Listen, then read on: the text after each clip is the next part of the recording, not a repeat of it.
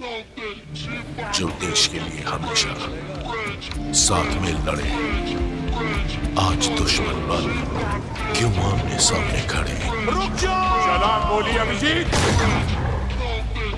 हाँ। उनकी कहानी अभी बाकी है जिनका बस नाम ही काफ़ी है। सीआईडी वापस आ रहा।